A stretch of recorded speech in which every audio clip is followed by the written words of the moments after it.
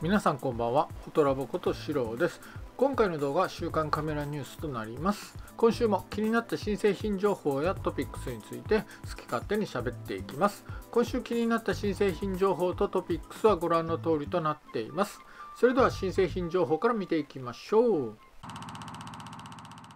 新製品情報まず最初はキヤノンです。キヤノンルモアーズに長い間噂が流れ続けているキヤノンの RF35mmF1.4L が近日中に発表されるのではないかという噂が掲載されています。こちらの方なんですけどまだ確実な情報と確証っていうのはねないんですけどまあほぼ確定ではないかと言われています。一応4月にですね EOSR5M2 と R1 と同時に発表されるのではないかと言われています。仕様の方は来月発表という割にはまだね細かい仕様っていうのは分かっていないんですが F1.2 ではなく F1.4 ではないかと言われています。あとはですねこのレンズなんですけど動画機能が搭載されているのではないかと言われています。まあ動画機能と言われてもねパワーズーム内蔵とかそういうものではなくってで絞りとかねコントロールリングにクリックの解除機能がついてるとかその程度じゃないかなと思います。あとはですねモーターが USM ではなくってステッピングモーターになってるんだと思います。まあねまだ全然具体的な話がないですしそもそもね EOS の R5M2 と R1 自体が本当にね4月に発表されるのかどうか分かりませんしこれらの製品が同時に発表されるかっていう確証もねまだないんでまあ話半分程度に思っていただけるとありがたいです。今週気になった新製品情報もう一つはシグマです。ソニーアルファルモアーズにシグマの大口径レンズに関する信憑性の高い噂が掲載されています。これなんですけど今月の終わりまでに大口径単焦点レンズを発表するのではないかということなんですがまだね最終的なスペックっていうのはわからないんですが一応 F1.4 より明るくフルサイズに対応しているということです。そしてねもちろん AF の方は搭載していてマウントの方はソニー E マウントマウントとライカ L マウントに対応しているそうです。そして発表の方なんですけど先ほども言ったように3月の末となっています。3月の末に発表するのではないかと言われているんですがスペックの方はね全然まだわからないんでね信憑性が高いと言われているんですがちょっとねどうなんだろうなと個人的には思ってます。それで焦点距離の方なんですがこれはねまたいろいろと憶測を呼んでいて 28mm の F1.2 50mm の F1.2 もしくは1.08の F1.2 なんじゃないかとか言われています。まあ個人的にはね 50mm の F1.2 あたりが無難かなとは思ってるんですけどね。あるいはね 105mm の F1.4 とかが出たらね面白いかなと思うんですがまあこっちの方はねちょっと現実的ではないかなと思ってます。発表の方が3月末ということなので本当にね3月末に出てくるのであれば今週具体的なリーク情報が出てくると思うのでもし詳しいねリーク情報が出てくれば来週の週刊カメラニュースで取りり上げてみたいと思います。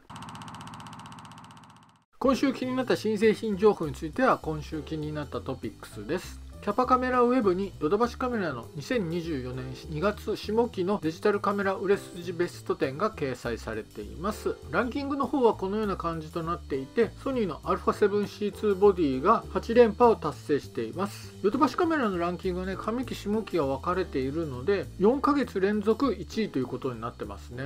α7-4 ボディに代わるソニーの一番売れているカメラとなります。もともとねヨドバシカメラソニーが強いですがこのカメラもロングセラーモデルとなるんでしょうね。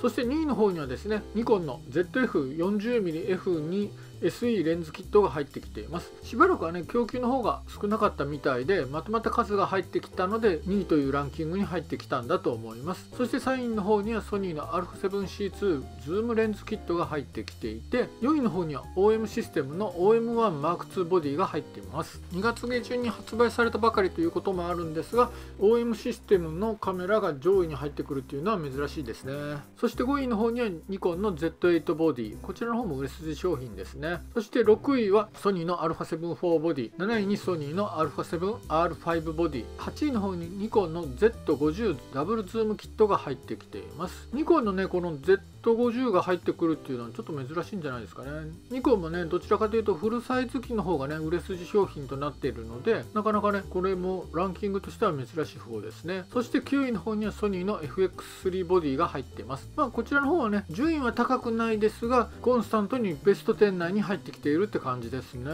動画を主体としてカメラを買われる方にはこちらのねカメラがベストなんだと思います。そして10位の方にはニコンの ZFC のレンズキットが入ってきています。ZFC fc も久しぶりじゃないですかね。ニコンの ZFC がベスト10内に入ってくるのっていうのは結構ね久しぶりのような気がします。こうして見るとねニコンが復活してきたなっていう印象がある一方でキャノンがね1台もベスト10内に入っていないっていうところはちょっとね珍しいなと思います。まあ今はねちょっと新製品の発表前の谷間っていう感じなんでね春のキャッシュバックキャンペーンが始まるということもあってねここからキャノンの巻き返しがあると思います。今週気になったトピックス続いてはマップタイムスの方に2024年2月のマップカメラのデジタルカメラ販売ランキングが掲載されています。ランキングとしてはこのような感じとなっていて1位の方にはニコンの ZF が入ってきています。そして2位には OM システムの OM1M2 3位の方にソニーの α7C2 4位にライカの Q3 5位の方に富士フィルムの XT56 位にニコンの Z87 位にリコーの GR3X8 位の方にキャノンの EOSR6M2 9位の方に富士フィルムの X100V 10位に DJI Osmo Pocket 3が入ってきています。マップカメラなんですけどヨドバシカメラに比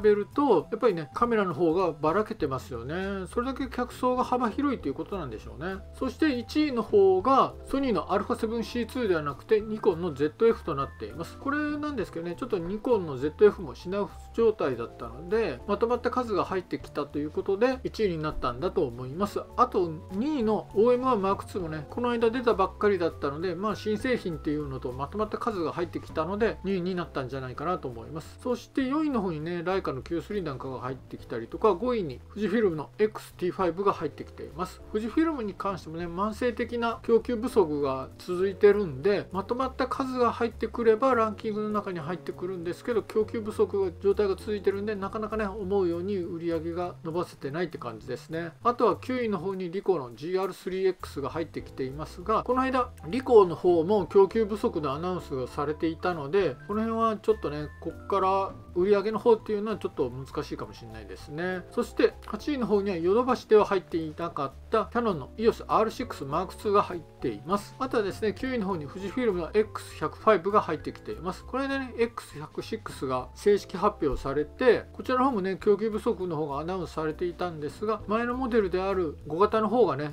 久しぶりにランキングが入ってきました。こちらもね慢性的な供給不足が続いていたのでおそらくはね新型が発表されたということもあってまとまったね在庫が出てきたんだとと思います。10位の方には DJI Osmo Pocket 3が入ってますね。こちらはね Vlog とかの定番カメラになってきてますね。はいこんな感じでマップカメラに関してはね先ほども言ったように非常にねバリエーションに富んで各メーカーの売れ筋商品が入っているという印象ですね。今週気になったトピックス最後はカメラベーターに中国の愛鳥国際の集計による鳥の撮影で最も使用されているカメラとレンズトピックス10が掲載されています。まずですねシェアの方なんですけど1位の方がキャノンとなっていて57.51%と圧倒的なシェア1位となっています。続く2位がニコンで26.10% 3位の方にソニーの19.51%となっていて残りのメーカー足して3.03%となっています。これを見る限りねやっぱりキヤノンがすごくねぶっちぎりの1位となってますね。まあキヤノンがね中国市場に力を入れていたっていうところもあるんじゃないかなとは個人的には思ってます。そしてですねカメラボディの方なんですけど1位の方は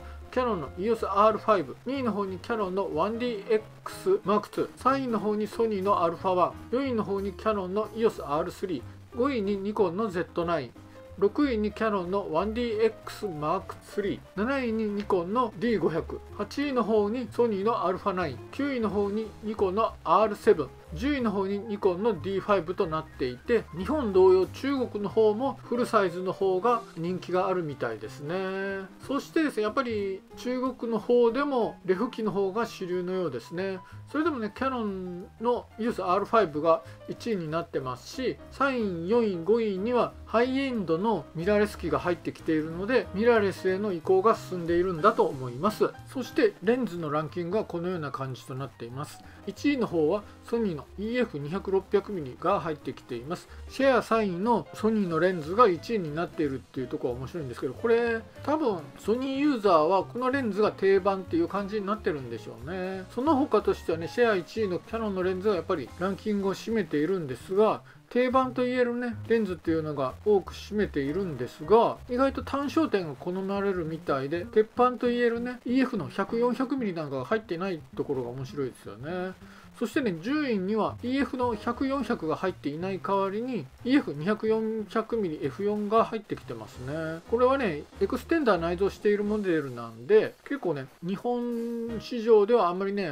値段が高すぎてて売れてなかったっていう印象があるんですが中国市場は日本市場以上にハイアマチュアが多いんでしょうね。そしてニコンに関して言うとシェア2にもかかわらず 500mm の56と 600mm の F4 というね単焦点2本が入ってきています。このシグマのね 150600mm が入ってきているんですけどこのランキングを見ている限りではニコンユーザーはシグマの150600を使ってるユーザーが多いんじゃないかなと勝手に思ってます。こうして見るとね結構日本市場とはちょっとね違うんですがさっきも言ったようにね中国の野鳥撮影界隈は日本の野鳥撮影界隈よりもお金に余裕のあるハイアマチュアが多いんだなっていう印象でした。はいいかがだったでしょうか？なんか最近はどこもかしこも供給不足って感じですね。富士フィルムのね X106 をはじめリコーの GR だったりとかあと OM デジタルなんかもねペンと EM10 がね供給不足を発表してましたね。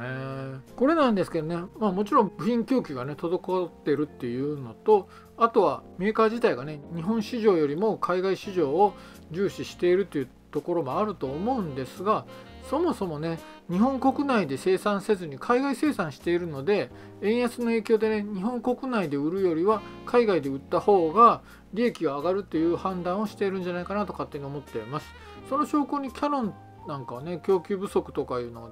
ほとんど出てないですからね。そう考えるとやっぱりね円高の時期に海外にね生産工場を移転したメーカーっていうのが結構ね供給不足になってるイメージがありますね。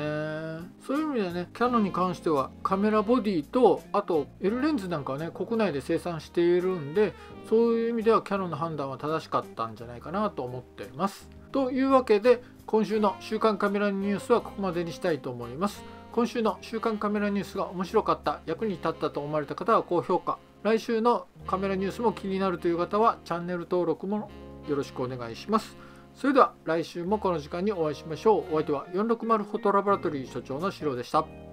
ごきげんよう。